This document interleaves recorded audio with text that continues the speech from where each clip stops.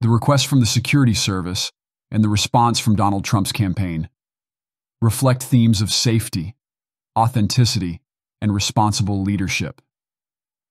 The Secret Service underscores the significance of protecting public figures and attendees at political events, emphasizing security.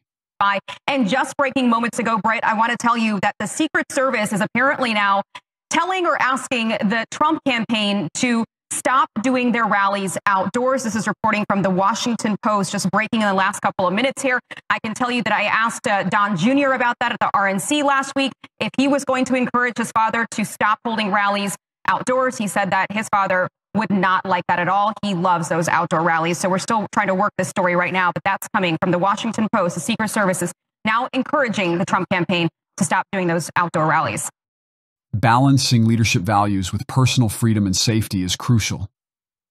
The public appreciates strong leadership that engages directly with supporters while respecting individual preferences. Trump's preference for outdoor rallies aligns with his conservative view, valuing personal freedom and direct interaction without intermediaries. However, the Secret Service's safety concerns highlight the importance of making responsible decisions that prioritize the well being of both leaders and the public.